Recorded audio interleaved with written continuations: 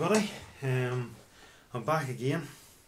So this time again we'll be playing through the same amp, same cab, but we're going to be talking about another guitar. So this time we shall be talking about my BC Rich The Dagger. So I've had this ooh, over 10 years anyway. Um, did give it away for a brief time when I stopped playing, but uh, fortunately for the guy that I gave it to, I love this guitar so much. So um, he offered to let me have it back, and I couldn't really turn that down because it's it's such a great guitar. Um, so this there's a couple of different versions of this guitar. So most people who've seen this guitar, you might recognize it vaguely.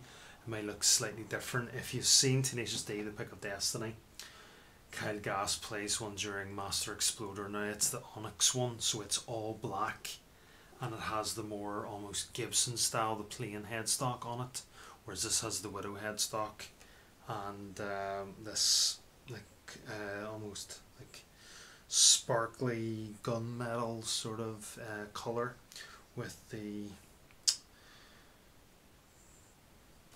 black around the edges and stuff um, and then as you can see it is a semi-acoustic.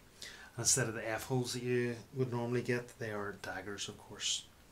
And then so they're hollow but then you've got the block running down the center. So you do get that partially hollow sound but you don't get the massive amount of feedback. Um, and then it is a think it's a set neck I think this would be. Uh, you can see a slight line where the neck has been set in.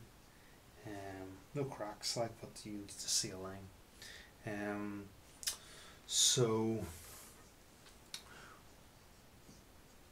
um, you have your strap button there which the start takes some getting used to because the guitar will try to tip away from you but you soon get used to it um, unlike a lot of the guitars I have this is only this is 22 fret so it doesn't have the full two octaves.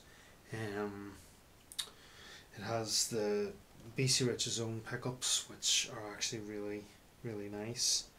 Um,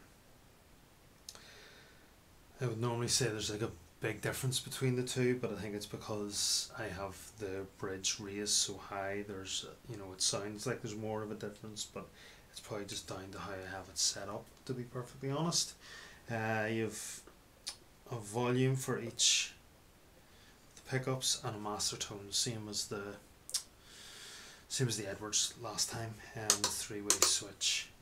So um, yeah, no, and it's uh, no tremolo on this one. There is the big dagger that has a Bigsby on it, which I wouldn't mind trying.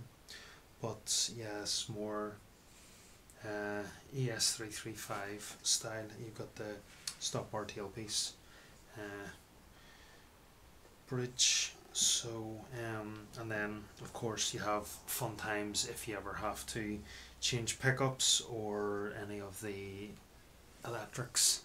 You will end up having to wrestle and fight to try and get at them. So that's when you take it to a guitar tech because they know more what they're doing there.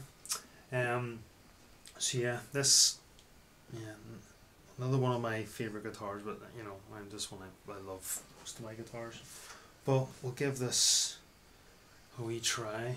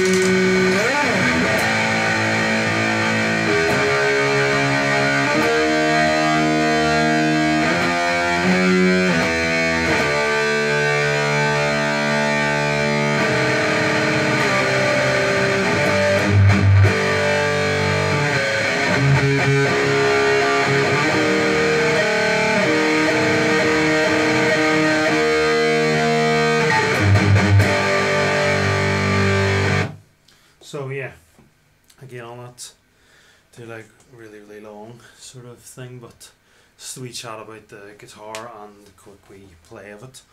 But um, yeah, I really enjoy playing this guitar. I've actually not had it going for a while, so it needed a wee setup. So got that there, so really pleased to have it back. Um, plays really nicely this guitar. Uh, I've I've played it live a couple of times actually now, yeah. So, um, yeah, it's just it just looks cool. I think you know uh, other people might not agree, but everyone's got their own taste because um, I don't think these did that well. But to me, I just love this guitar, and I got it for a good deal in a local guitar shop that unfortunately closed just before lockdown. But um, yeah, got a good deal on it, and just yeah, really like this guitar. So um, hopefully you enjoyed that. Um, if you did, like, uh, comment have you ever played one? Have you ever considered getting one? Um, do you have one? You know, just get a conversation going. Um, uh, if you don't like it, you don't like it. You know, everyone's got their own tastes. Uh, so, yeah. Thanks for watching, and uh, I'll see you later, Smegheads.